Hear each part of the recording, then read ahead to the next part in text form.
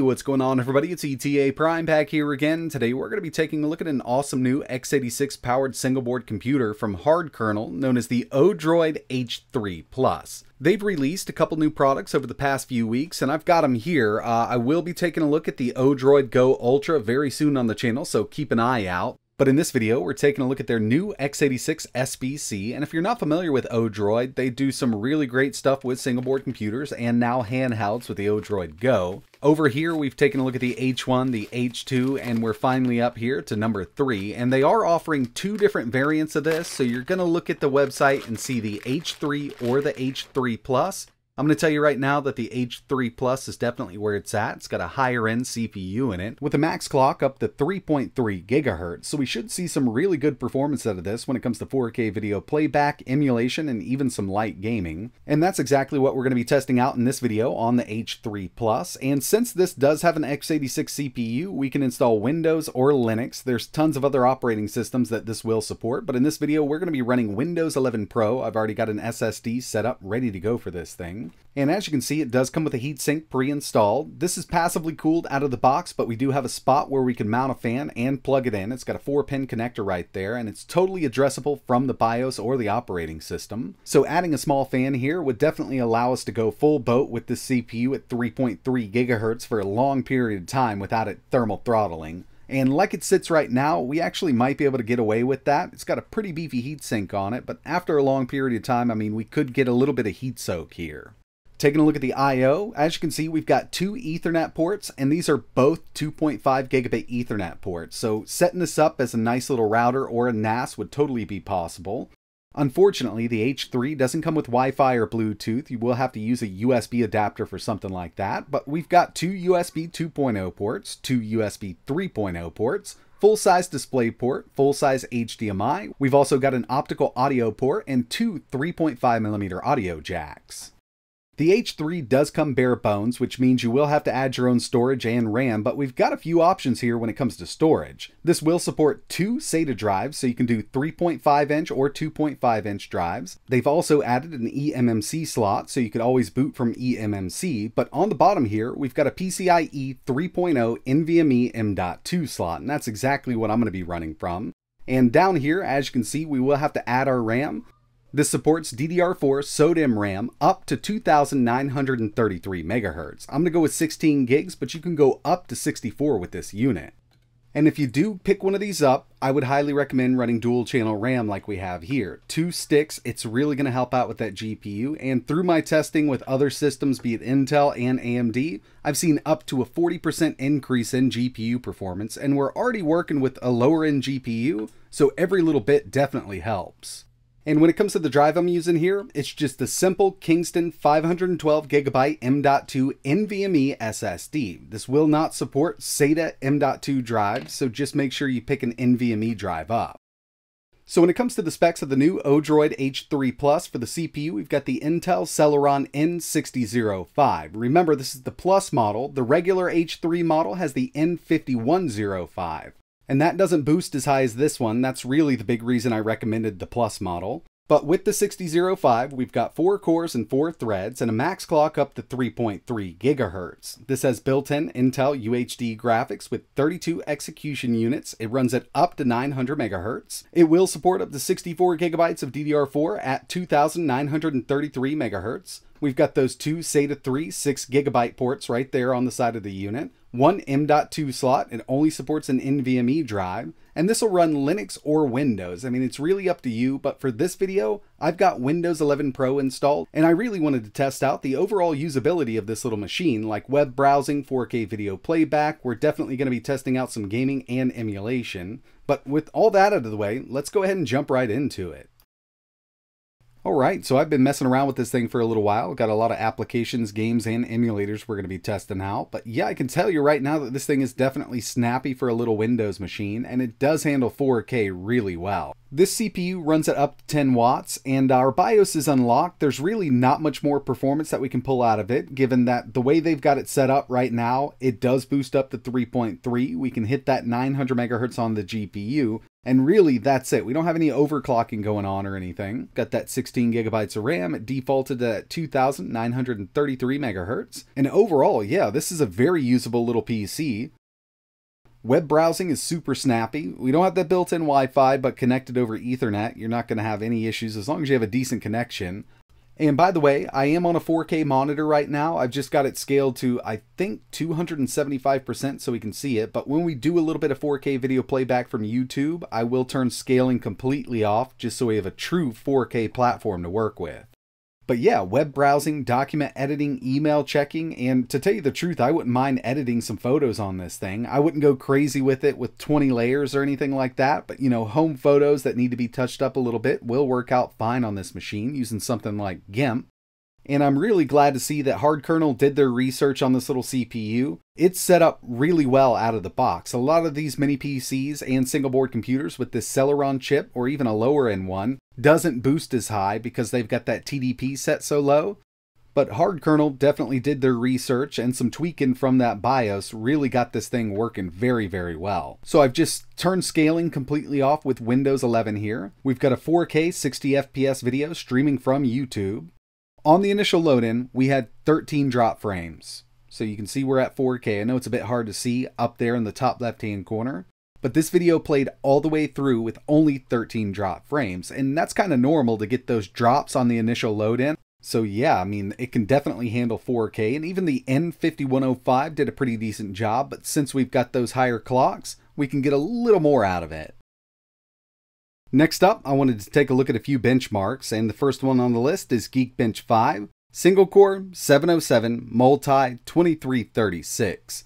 I also ran a couple GPU benchmarks. Here's 3D Mark Wildlife, 3254, and this tests the GPU's Vulkan performance. And finally, we've got 3D Mark Night Raid with a 4829. So yeah, it's not going to win any benchmark awards, but I'm still going to be testing out some gaming on this thing, so let's see what it can do. And first up, we've got OG Skyrim 900p low settings. I had a good feeling it was going to run this just fine. As you can see, that GPU usage isn't at 100%, and I didn't expect it to be, given that this game is more CPU intensive. But once we throw some effects on screen, you'll see it jump up a bit. Next one I wanted to test here was the Art of Rally. We're at 900p medium settings and this is very playable. So we could probably take it down to very low settings 1080, but just at those medium settings 1080 we did have dips under 60. But I personally still think this looks great at 900p, and to tell you the truth, I've played this a lot at 720 on lower end systems. And if you take a look at Afterburner, you can see that our CPU is getting on up there. We're at 88 degrees Celsius, so I'm just going to add a small fan here for the next games that we're going to be testing. I always like to throw at least one fighting game in, so here's Marvel vs. Capcom Infinite. We're at 720p low settings, and I've got resolution scale set to around 80%. We can do that with the custom settings in this game. Not quite there at 60. We'd probably have to drop those down to around 50%, maybe even lower to get a nice steady 60 out of it, but it's definitely trying its hardest. Okay, so we know World of Warcraft has been out for a long time. It's very well optimized, but to see it running over 100 FPS on this little system is pretty impressive. We're at 720p. I've got that graphic slider set to number 3 there. We could probably go up a bit higher at 720p. But with the way it's set up, it's perfectly playable on the Odroid H3 Plus.